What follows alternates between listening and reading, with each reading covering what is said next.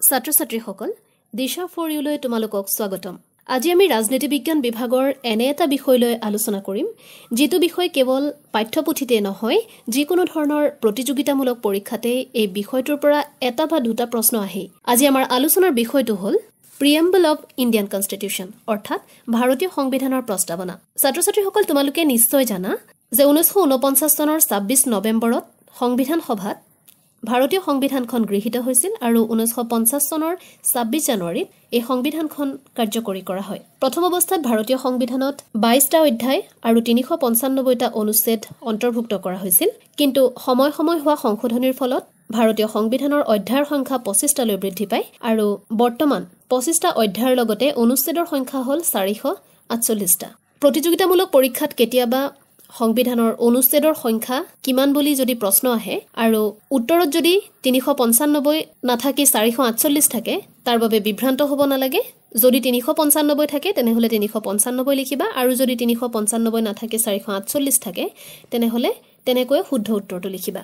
আজি আমি সংবিধানৰ প্ৰস্তাৱনাটোৰ বিষয়ে আলোচনা কৰিম। ঊনৈছশ ছয়চল্লিছ চনৰ তেৰ ডিচেম্বৰত পণ্ডিত জৱাহৰলাল নেহেৰুৱে যিটো অবজেক্টিভ ৰিজলিউশ্যন অৰ্থাৎ উদ্দেশ্য প্ৰস্তাৱ আগবঢ়াইছিল সেই অবজেক্টিভ ৰিজলিউশ্যনটোকে পৰৱৰ্তী সময়ত প্ৰিয়েম্বল হিচাপে নামকৰণ কৰা হয়। আৰু এই প্ৰিয়েম্বল শব্দটো লোৱা হৈছে আমেৰিকা যুক্তৰাষ্ট্ৰৰ পৰা ইউনাইটেড ষ্টেটছ অৱ আমেৰিকাৰ পৰা। আমেৰিকা যুক্তৰাষ্ট্ৰৰ সংবিধানৰ প্ৰিয়েম্বলটোৰ দৰে ভাৰতীয় সংবিধানৰ প্ৰস্তাৱনাটোকো ৰূপ দিয়া হৈছে। আমেৰিকা যুক্তৰাষ্ট্ৰৰ সংবিধানৰ এই প্ৰস্তাৱনাটো উই দ্য পিপল এই তিনিটা শব্দৰে আৰম্ভ হৈছে আৰু ভাৰতীয় সংবিধানতো অনুৰূপ ধৰণেৰে প্ৰস্তাৱনাটো আৰম্ভ হৈছে। আচলতে এই প্ৰস্তাৱনাটোতনো কি আছে? এইখিনিতে ক'ব পাৰি বিশিষ্ট আইনবিদ নানী পালকিৱালৰ কথা the preamble of the constitution is the identity card of the constitution অৰ্থাৎ ভাৰতীয় সংবিধানৰ প্ৰস্তাৱনাটো পৰিচয় পত্ৰৰ সৈতে তেওঁ তুলনা কৰিছে। প্ৰিয়েম্বলটো কেনেকৈ পৰিচয় পত্ৰ হ'ব? সেই কথা যদি আমি বুজিব লাগে তেতিয়াহ'লে আমি ভালকৈ বুজি পাব লাগিব আচলতে প্ৰস্তাৱনাটোত আছে কি? আচলতে প্ৰস্তাৱনাটো ভাৰতীয় সংবিধানৰ এটা সংক্ষিপ্ত বিৱৰণ বুলি ক'ব পাৰি। অৰ্থাৎ গোটেই সংবিধানখন এই প্ৰস্তাৱনাটোত প্ৰতিফলিত হৈছে।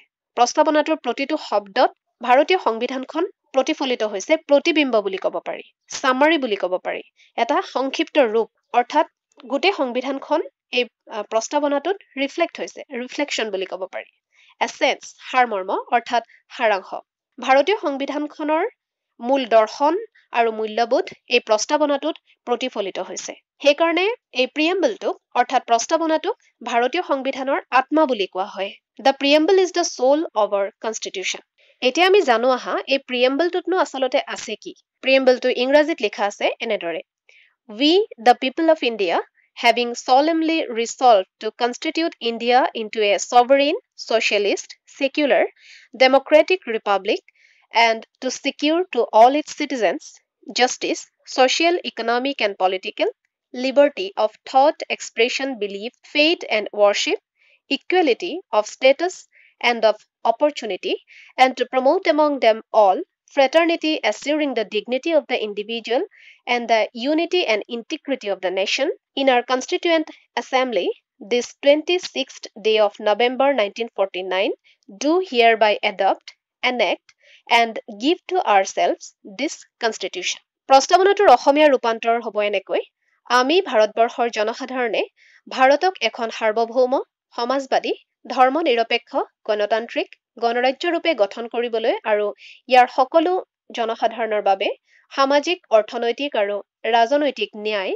চিন্তা মত প্ৰকাশ বিশ্বাস আস্থা আৰু উপাসনাৰ স্বাধীনতা মৰ্যাদা আৰু সুযোগৰ সমতা নিশ্চিত কৰিবলৈ আৰু সকলোৰে মাজত ভাতৃত্ববোধ মৰ্যাদা আৰু ৰাষ্ট্ৰীয় ঐক্য আৰু অখণ্ডতাৰ প্ৰসাৰ কৰাৰ অৰ্থে পবিত্ৰ অন্তঃকৰণেৰে সংকল্পবদ্ধ হৈ সংবিধান সভাত আজি ঊনৈছশ ঊনপঞ্চাছ চনৰ ছাব্বিছ নৱেম্বৰ তাৰিখে ইয়াৰ দ্বাৰা আমি গ্ৰহণ আৰু বিধিবদ্ধ কৰি নিজৰ প্ৰতি এই সংবিধান উৎসৰ্গা কৰিলো। ছাত্ৰ ছাত্ৰীসকল তোমালোকে নিশ্চয় মন কৰিছা সংবিধানখনৰ এই প্ৰস্তাৱনাটো আৰম্ভ হৈছে তিনিটা শব্দৰে উই দ্য পিপল অৰ্থাৎ উই দ্য পিপলৰ অৰ্থটো হ'ল চ'ৰ্চ অফ পাৱাৰ অৰ্থাৎ ক্ষমতাৰ উৎস। গণতান্ত্ৰিক সমাজ ব্যৱস্থাত গণতান্ত্ৰিক দেশ এখনত ক্ষমতাৰ উৎস বুলি কাক কোৱা হয়? জনসাধাৰণক। আৰু উই দ্য পিপলে জনসাধাৰণক ক্ষমতাৰ উৎস হিচাপে প্ৰতিষ্ঠিত কৰিছে। ভাৰতীয় সংবিধানৰ প্ৰস্তাৱনাটোত থকা এই শব্দবিলাক আমি যদি বিশ্লেষণ কৰোঁ তেতিয়াহ'লে আমি ভাৰতীয় সংবিধানখনৰ বিষয়ে এটা সংক্ষিপ্ত এটা ধাৰণা আমি লাভ কৰিব পাৰিম। কিয়নো এই প্ৰস্তাৱনাটোত সংবিধানখনৰ এটা সাৰাংশ ৰূপত প্ৰকাশ কৰিব বিচৰা হৈছে। প্ৰথম শব্দটো হ'ল অতি গুৰুত্বপূৰ্ণ শব্দ এয়া হৈছে ছভৰিন অৰ্থাৎ সাৰ্বভৌম। ভাৰত এখন সাৰ্বভৌম ৰাষ্ট্ৰ। সাৰ্বভৌমত্বৰ অৰ্থ হ'ল দেশৰ আভ্যন্তৰীণ আৰু বৈদেশিক নীতি নিৰ্ধাৰণৰ ক্ষেত্ৰত ভাৰতে কোনো বিদেশী ৰাষ্ট্ৰৰ হস্তক্ষেপ মানি চলিবলৈ বাধ্য নহয়। অৰ্থাৎ ভাৰতে আভ্যন্তৰীণ আৰু বৈদেশিক নীতিৰ ক্ষেত্ৰত যিসমূহ সিদ্ধান্ত গ্ৰহণ কৰিব সম্পূৰ্ণ নিজাকৈ গ্ৰহণ কৰিব। কোনো বাহিৰা শক্তিয়ে অথবা ৰাষ্ট্ৰই হস্তক্ষেপ কৰিব নোৱাৰে কোনো নিৰ্দেশ দিব নোৱাৰে। ভাৰত সম্পূৰ্ণৰূপে সাৰ্বভৌম এখন ৰাষ্ট্ৰ। ভাৰত যদিও কমনৱেলথৰ সদস্য ভাৰত যদিও ইউনাইটেড নেশ্যনছ অৰ্গেনাইজেশ্যন অৰ্থাৎ ৰাষ্ট্ৰসংঘৰ সদস্য ৰাষ্ট্ৰ তথাপি ভাৰত কোনো ৰাষ্ট্ৰৰ কোনো সংস্থাৰ হস্তক্ষেপ মানি চলিবলৈ বাধ্য নহয়। সাৰ্বভৌম শব্দটোৱে ইয়াকে প্ৰতিফলিত কৰিছে। প্ৰস্তাৱনাত উল্লেখ থকা আন এটা গুৰুত্বপূৰ্ণ শব্দ হ'ল সমাজবাদী ছচিয়েলিষ্ট। এই ছচিয়েলিষ্ট শব্দটো ঊনৈছশ ছয়সত্তৰ চনৰ বিৰাল্লিছ সংখ্যক সংশোধনীত অন্তৰ্ভুক্ত কৰা হৈছিল। আচলতে ছাত্ৰ ছাত্ৰীসকল তিনিটা শব্দ ঊনৈছশ ছয়সত্তৰ চনৰ বিৰাল্লিছ সংখ্যক সংবিধান সংশোধনীত এই প্ৰস্তাৱনাটোত অন্তৰ্ভুক্ত কৰা হৈছিল। এই শব্দকেইটা হ'ল ছচিয়েলিষ্ট ছেকুলাৰ আৰু ইণ্টিগ্ৰিটি। এই তিনিটা শব্দ সমাজবাদী ধৰ্ম নিৰপেক্ষ আৰু সংহতি। সংবিধান প্ৰণেতাসকলে প্ৰথম অৱস্থাত সমাজবাদী শব্দটো অন্তৰ্ভুক্ত কৰা নাছিল ছচিয়েলিষ্ট শব্দটো। তাৰ কাৰণটো হ'ল ঊনৈছশ পঞ্চাছ চনত যেতিয়া সংবিধানখন গৃহীত হৈছিল তেতিয়া সমাজবাদ বুলি ক'লে ৰাছিয়াৰ কমিউনিষ্ট ছচিয়েলিজিম বা মাৰ্কচিষ্ট ছচিয়েলিজিমটোৱে বুজা গৈছিল। আচলতে ভাৰতত সমাজবাদৰ অৰ্থ হ'ল ছচিয়েলিজিমৰ অৰ্থ হ'ল ডেমক্ৰেটিক ছচিয়েলিজিম অৰ্থাৎ গণতান্ত্ৰিক সমাজবাদ। গণতান্ত্ৰিক সমাজবাদৰ অৰ্থটো চমুকৈ বুজাই দিছো। গণতান্ত্ৰিক সমাজবাদ মানে হৈছে কমিউনিষ্ট ছচিয়েলিজিমৰ কথা কোৱা কমিউনিষ্ট ছচিয়েলিজিম বা মাৰ্কচিষ্ট ছচিয়েলিজিমৰ কথা কোৱা হোৱা নাই। কমিউনিষ্ট ছচিয়েলিজিমত কি কৰে? সম্পদৰ সম বিতৰণটোৱে তেওঁলোকৰ মুখ্য উদ্দেশ্য। কিন্তু গণতান্ত্ৰিক সমাজবাদৰ ডেমক্ৰেটিক ছচিয়েলিজিমৰ অৰ্থ হ'ল দৰিদ্ৰতা দূৰ কৰা নিৰক্ষৰতা দূৰ কৰা ব্যাধিসমূহ দূৰ কৰা সুযোগৰ অসমতা দূৰ কৰা। অৰ্থাৎ ইয়াৰ উদ্দেশ্য হ'ল poverty ignorance disease inequality of opportunity এইবিলাক সম্পূৰ্ণৰূপে নোহোৱা কৰা।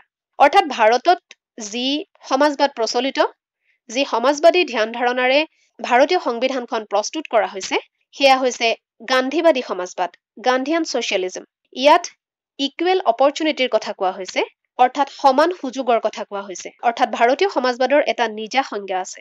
ভাৰত এখন সমাজবাদী ৰাষ্ট্ৰ আৰু কল্যাণকামী ৰাষ্ট্ৰ। ৱেলফেয়াৰ ষ্টেট বুলি যিটো কোৱা হয় কল্যাণকামী ৰাষ্ট্ৰ হিচাপে নিজক প্ৰতিষ্ঠা কৰিবলৈ ভাৰতে গণতান্ত্ৰিক সমাজবাদ প্ৰতিষ্ঠা কৰিছে।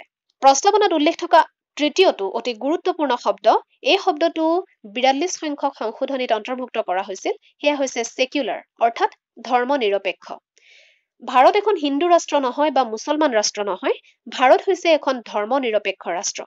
সংবিধানৰ পঁচিছৰ পৰা আঠাইছ অনুচ্ছেদলৈকে অৰ্থাৎ মৌলিক অধিকাৰ পঁচিছৰ পৰা আঠাইছ অনুচ্ছেদলৈকে স্পষ্টভাৱে উল্লেখ আছে যে ভাৰতত যিকোনো ব্যক্তিয়ে যিকোনো ধৰ্ম গ্ৰহণ কৰিব পাৰে উপাসনা কৰিব পাৰে আৰু এই ক্ষেত্ৰত কোনো বাধ্যবাধকতা নাই।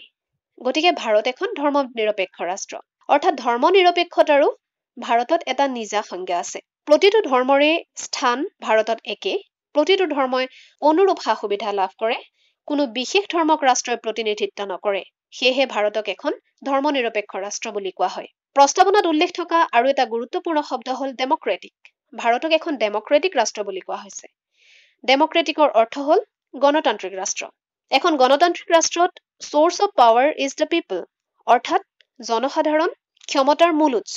ছাত্ৰ ছাত্ৰীসকলক এইখিনিতে ক'ব লাগিব যে ডাইৰেক্ট আৰু ইনডাইৰেক্ট ডেমক্ৰেচি প্ৰত্যক্ষ আৰু পৰোক্ষ গণতন্ত্ৰ ভাৰতৰ দৰে এখন জনবহুল ৰাষ্ট্ৰত এশ ত্ৰিশ কোটি জনসাধাৰণৰ এখন দেশত ডাইৰেক্ট ডেমক্ৰেচি অৰ্থাৎ প্ৰত্যক্ষ গণতন্ত্ৰ সম্ভৱ নহয় গতিকে ভাৰতত পৰোক্ষ গণতান্ত্ৰিক ব্যৱস্থা প্ৰচলিত। তোমালোকে জানানে ডাইৰেক্ট ডেমক্ৰেচি ক'ত আছে? কোনখন দেশত এতিয়াও প্ৰত্যক্ষ গণতন্ত্ৰ প্ৰচলিত হৈ আছে? সেয়া হ'ল ছুইজাৰলেণ্ড। মূল কথালৈ আহোঁ। ভাৰতত গণতান্ত্ৰিক ব্যৱস্থা ডেমক্ৰেটিক প্ৰিন্সিপলসমূহ মানি চলা হয়। উদাহৰণস্বৰূপে ক'ব পাৰি executive is responsible to the legislature কাৰ্যপালিকা বিধানমণ্ডলৰ ওচৰত দায়বদ্ধ। ইয়াৰ উপৰি প্ৰাপ্তবয়স্কৰ ভোটাধিকাৰৰ বিষয়টোত গুৰুত্ব দিয়া হৈছে। প্ৰাপ্তবয়স্ক লোকসকলক ভোটদানৰ অধিকাৰ প্ৰদান কৰা হৈছে। পিৰিয়ডিক নিৰ্বাচন অনুষ্ঠিত হয় অৰ্থাৎ নিয়মীয়াকৈ নিৰ্বাচন অনুষ্ঠিত হয়। আইনৰ শাসন ৰুল অফ ল অৰ্থাৎ আইনৰ আগত সকলো সমান। ইণ্ডিপেণ্ডেঞ্চ অফ জুডিচিয়াৰী অৰ্থাৎ ন্যায়পালিকাৰ স্বতন্ত্ৰতা। ভাৰতত ন্যায়পালিকা সম্পূৰ্ণৰূপে স্বাধীন। ইয়াত ন্যায়পালিকাক কোনেও নিয়ন্ত্ৰণ কৰিব নোৱাৰে। আৰু এবচেঞ্চ অফ ডিছক্ৰিমিনেশ্যন ভাৰতীয় সংবিধানত সকলো লোকৰ বাবে সমান অধিকাৰ প্ৰদান কৰা হৈছে। ইয়াত সকলো ধৰণৰ বৈষম্য দূৰ কৰাৰ চেষ্টা কৰা হৈছে। ক্ষমতাৰ বিকেন্দ্ৰীকৰণ ন্যায় সমতা স্বাধীনতা ভাতৃত্ববোধ এইসমূহ প্ৰতিষ্ঠা কৰা হৈছে। সেয়েহে ভাৰত এখন গণতান্ত্ৰিক ৰাষ্ট্ৰ।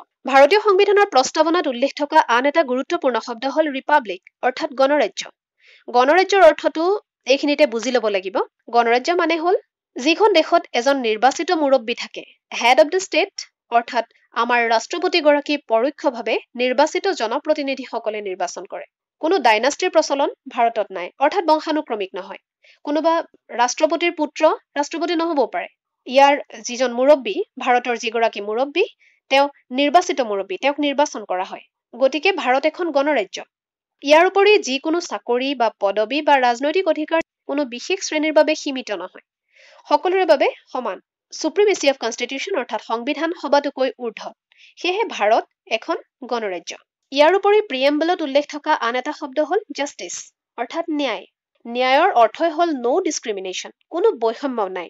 ভাৰতীয় সংবিধানে ছ'চিয়েল ইকনমিক এণ্ড পলিটিকেল তিনি ধৰণৰ ন্যায়ৰ কথা কৈছে। সামাজিক অৰ্থনৈতিক আৰু ৰাজনৈতিক ন্যায়ৰ কথা কৈছে। আচলতে জাষ্টিছ শব্দটো এই জাষ্টিছৰ এই ন্যায়ৰ ধাৰণাটো ৰাছিয়ান ৰিভলিউশ্যনৰ পৰা লোৱা হৈছিল। আমি ন্যায়ৰ কথা আলোচনা কৰাৰ আগতে সংবিধানৰ ঊনচল্লিছ এ অনুচ্ছেদৰ বিষয়ে কিছু কথা জানিব লাগিব। ভাৰতীয় সংবিধানৰ ঊনচল্লিছ এ অনুচ্ছেদত কি আছে? ৰাষ্ট্ৰ পৰিচালনাৰ নিৰ্দেশাত্মক নীতি ডি পি এছ পি চমুকৈ অৰ্থাৎ directive principles of state policy সংবিধানৰ থাৰ্টি নাইন এইট কি আছে সেয়া আমি জানিলে আমি এই কথা নিশ্চিত হ'ম যে ভাৰতীয় সংবিধানে ন্যায় সুনিশ্চিত কৰিছে।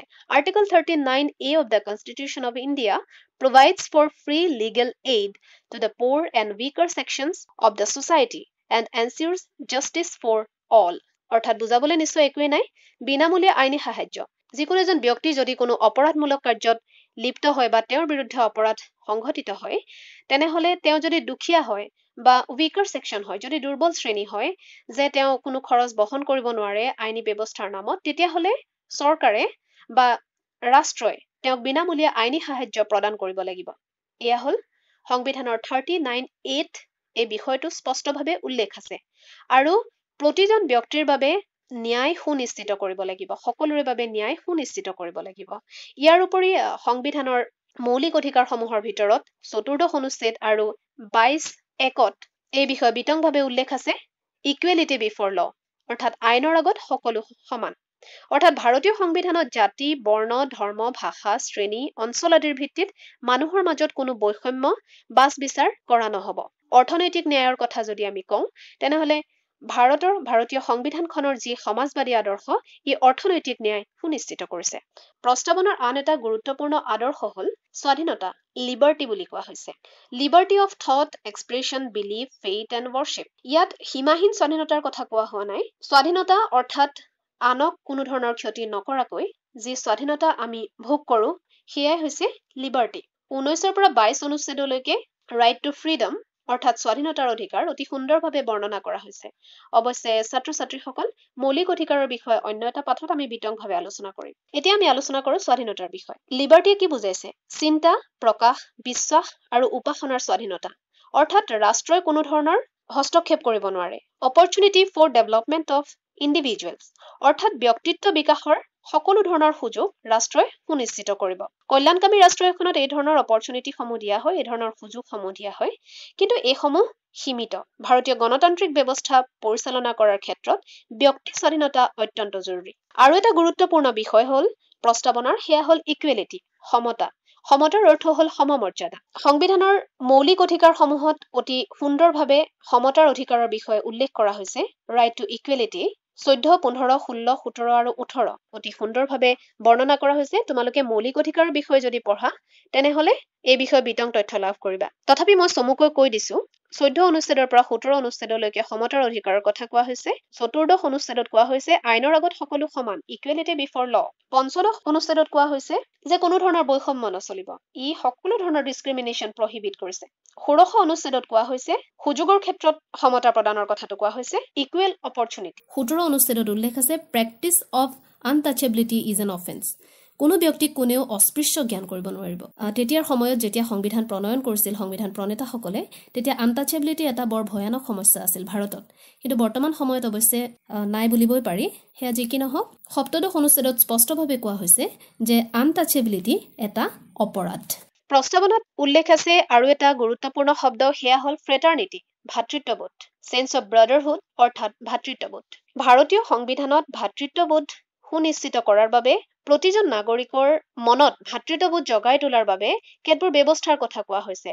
সেই ব্যৱস্থাসমূহৰ ভিতৰত আমি ফাণ্ডামেণ্টেল ডিউটিসমূহৰ কথা ক'ব পাৰোঁ মৌলিক কৰ্তব্য। এই মৌলিক কৰ্তব্যসমূহ প্ৰতিগৰাকী নাগৰিকৰ নৈতিক দায়বদ্ধতা। ইয়াৰ উপৰি ছিংগল চিটিজেনশ্বিপৰ কথা কোৱা হৈছে একক নাগৰিকত্ব। ইয়াত দ্বৈত নাগৰিকত্বৰ ব্যৱস্থা নাই। ভাৰতৰ নাগৰিক হিচাপে কেৱল ভাৰতীয় নাগৰিকত্ব লাভ কৰিব ই আচলতে একতা আৰু ভাতৃত্ববোধ সুনিশ্চিত কৰিবলৈ এই ব্যৱস্থা কৰা হৈছে। ডিগনিটি অব দ্য ইণ্ডিভিজুৱেল ব্যক্তিৰ মৰ্যাদা সুনিশ্চিত কৰাৰ উদ্দেশ্যে এই ফ্ৰেটাৰনিটি শব্দটো গুৰুত্ব সহকাৰে অন্তৰ্ভুক্ত কৰা হৈছে। ইয়াৰ উপৰি প্ৰস্তাৱনাটোত unity and integrity of the nation বুলি কোৱা হৈছে।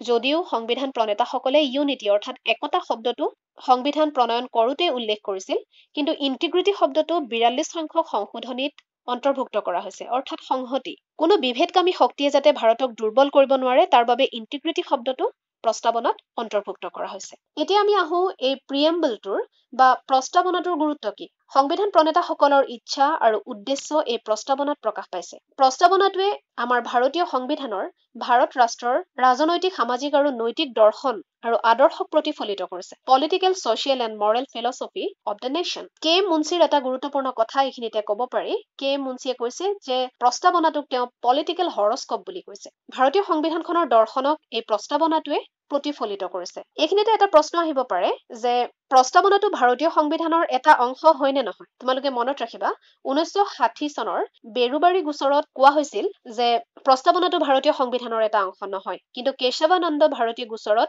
পৰৱৰ্তী সময়ত উচ্চতম ন্যায়ালয়ে স্পষ্ট কৰি দিয়ে যে it is an integral part of the constitution অৰ্থাৎ প্ৰস্তাৱনা ভাৰতীয় সংবিধানৰ এটা গুৰুত্বপূৰ্ণ অংশ। ই সংশোধনযোগ্য নে? সংশোধন কৰিব পাৰিনে হয় সংশোধন কৰিব পাৰি কিন্তু মূল গাঁথনিত কোনো ধৰণৰ সংশোধন ঘটাব নোৱাৰি। বেচিক ষ্ট্ৰাকচাৰ বুলি কোৱা হৈছে। মূল গাঁথনিত কোনো ধৰণৰ সংশোধন নঘটোৱাকৈ সংবিধানৰ প্ৰস্তাৱনাটো সংশোধন কৰিব পাৰি।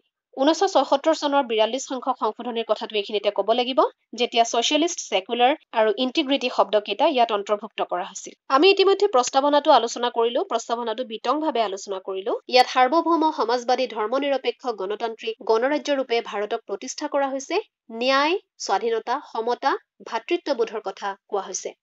কিন্তু তথাপি এই প্ৰস্তাৱনাটোক লৈ বিভিন্নজনে সমালোচনা কৰি আহিছে। পি. বি. গজেন্দ্ৰ কাটকাৰৰ এটা কথা এইখিনিতে উল্লেখ কৰিব লাগিব। তেওঁ কৈছে যে প্ৰস্তাৱনা ক্ষমতাৰ উচ্চ নহয় সংবিধান প্ৰণেতাসকলৰ এটা আদৰ্শগত সপোনহে তেওঁ ইয়াক এটা আদৰ্শগত সপোন বুলি কৈছে। প্ৰস্তাৱনাৰ আদৰ্শসমূহ ভালকৈ ৰূপায়ণ কৰিব পৰা নাই বুলি বিভিন্নজনে বিভিন্ন সময়ত সমালোচনা কৰি আহিছে। অৰ্থাৎ ভাৰতীয় সংবিধানৰ এই প্ৰস্তাৱনাটোত যিসমূহ কথা উল্লেখ আছে গণতন্ত্ৰ ধৰ্ম নিৰপেক্ষতা সমাজবাদ সমালোচকসকলৰ মতে এই ক্ষেত্ৰত ভাৰতে সম্পূৰ্ণৰূপে সাফল্য অৰ্জন কৰিব পৰা নাই। কিন্তু যি কি নহওক সমালোচনা থাকিবই। এই সমালোচনা থাকিলেও আমি এটা কথা ক'ব লাগিব যে সংবিধানখন ব্যাখ্যা কৰিবলৈ যেতিয়া অসুবিধাৰ সন্মুখীন হোৱা যায় যেতিয়া সংবিধানখনৰ বিষয়ে থুলমূলকৈ জানিবলগীয়া থাকে নিশ্চিতভাৱে আমি প্ৰস্তাৱনাটো যদি পঢ়ো বুজি পাম যে ভাৰতীয় সংবিধানখনত আচলতে কি আছে। এই প্ৰস্তাৱনা অবিহনে সংবিধানখন বুজাটো ইমান সহজ নহব। প্ৰস্তাৱনা অবিহনে ভাৰতীয় সংবিধানখন লক্ষ্যবিহীন হৈ পৰিব। সেয়েহে প্ৰস্তাৱনাটোক ভাৰতীয় সংবিধানৰ আত্মা বুলি কোৱা হয়। ছাত্ৰ ছাত্ৰীসকল আজি আমি প্ৰস্তাৱনাৰ বিষয়ে আলোচনা কৰিলো। ভাৰতীয় সংবিধানৰ আন কেতবোৰ গুৰুত্বপূৰ্ণ বিষয় লৈ আকৌ তোমালোকৰ মাজলৈ আহিম। আমাৰ YouTube channel Disha for you subscribe কৰিবলৈ নাপাহৰিবা। তেনেহলে আজিলৈ আহিছো। নমস্কাৰ।